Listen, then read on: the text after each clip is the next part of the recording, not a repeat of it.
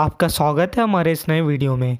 आप कभी जिम गए होंगे या फिर आपने कभी रेजिस्टेंस ट्रेनिंग करी होगी तो आपके पार्टनर या आपके ट्रेनर ने ये ज़रूर बोला होगा कि आप वे प्रोटीन पाउडर ले लीजिए, जिससे आपकी जो मसल बिल्ड करने की एबिलिटी है, वो बढ़ेगी और आपकी जो स्ट्रेंथ है, वो भी बढ़ेगी। तो दोस्तों, इस वीडियो में मैं आपको इसी के बारे में बताऊँगा कि ये जो वे प्रोटीन पाउडर है, वो क्या रहता है, कैसे बनता है, ये आपकी बॉडी में कैसे काम करता है और हम ये देखेंगे कि इसके ऊपर जो रिसर्च हुई है, उसमें क्या कहा गया है कि इससे जो मसल बिल्ड है वो होता है कि नहीं। तो हम अपना वीडियो बिना किसी देरी के शुरू करते हैं। वे एक सोर्स ऑफ़ प्रोटीन है जो कि मिल्क में पाया जाता है।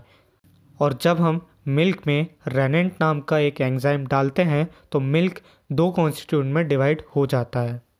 तो जो पहला पार्ट रहता है वो सेमी सॉलिड यानी कट की तरह रहता है, जिससे हम चीज़ या बाकी सारे डेयरी प्रोडक्ट बना सकते हैं। और जो दूसरा पार्ट रहता है वो लिक्विड रहता है, जिसको हम वे बोलते हैं। और इसको पेस्चराइज और ड्राई करने के बाद ही हमारा प्रोटीन पाउडर बनता है। अब हम जानते हैं, जब भी हम कोई रेजिस्टेंस ट्रेनिंग करते हैं तो हमें ज़्यादा प्रोटीन क्यों चाहिए रहता है? तो हमें कोई अगर अपने बॉडी का ऑर्गन का साइज़ बढ़ाना है तो सिर्फ़ उसके दो तरीके रहते हैं।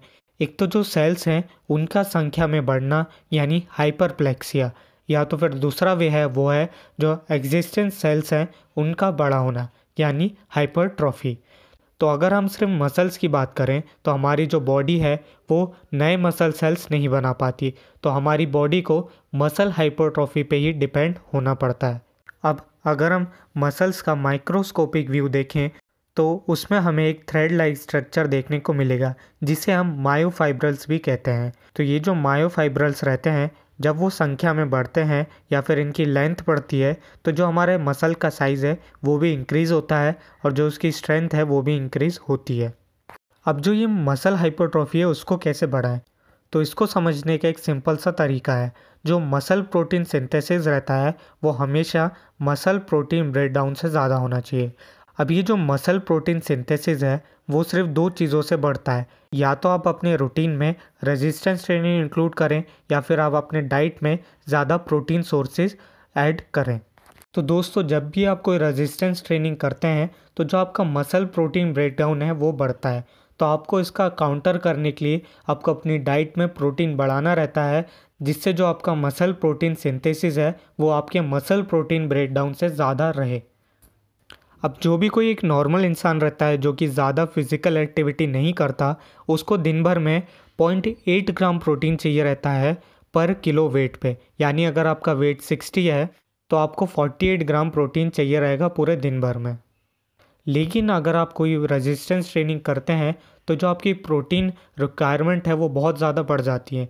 यानी आपको 1.4 से लेके 2.2 ग्राम पर किलो वेट प्रोटीन लेना पड़ेगा। यानी अगर आपका वेट सिक्सटी है तो आपको लगभग नाइन्टी ग्राम प्रोटीन लेना पड़ेगा पूरे दिन भर में। तो दोस्तों, अब हम अपने मेन सवाल पे आते हैं कि जो वे प्रोटीन है, उससे सही में क्या मसल बिल्ड होती है और जो आपकी स्ट्रेंथ लेवल है, वो बढ़ती है कि नहीं? तो दोस्तों 2017 ब्रिटिश जर्नल में एक रिसर्च पब्लिश हुई, जो कि प्रोटीन सप्लीमेंट के ऊपर सबसे बड़ी रिसर्च थी, जिसमें 2000 लोगों पे ये रिसर्च करी गई थी। इस रिसर्च में लोगों को दो भागों में बांटा गया। जो पहला ग्रुप था, उसको प्रोटीन सप्लीमेंट दिया गया और जो दूसरा ग्रुप था, उसको प्रोटीन सप्लीमेंट नहीं दिया गया। तो जिन लोगों पे ये रिसर्च करी गई थी, उनको पहले से 1.4 ग्राम प्रोटीन दिया गया था पर किलो बॉडी वेट पे। यानी कोई 70 किलो का इंसान है तो उसको 105 ग्राम प्रोटीन दिया गया था नॉर्मल फ़ूड सोर्सेज से। और 36 ग्राम एडिशनल प्रोटीन दिया गया था सप्लीमेंट से। ये जो रिसर्च है वो तेरह हफ्तों तक चली थी और हर हफ़्ते में तीन वर्कआउट सेशन थे, जिसमें हर एक वर्कआउट सेशन में सात एक्सरसाइज थी, जिसके चार चार सेट लगाने थे।